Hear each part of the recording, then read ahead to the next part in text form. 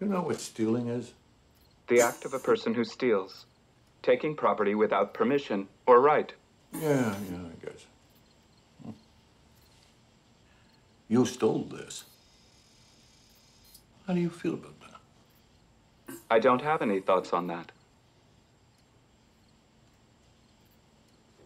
They didn't program you about stealing, uh, shoplifting, robbery?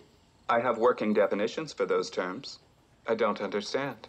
Do you want something for dessert? Do you have any programming that uh, makes you obey the law?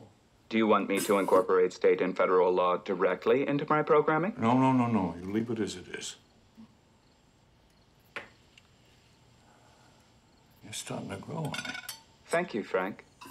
It's time for your enema.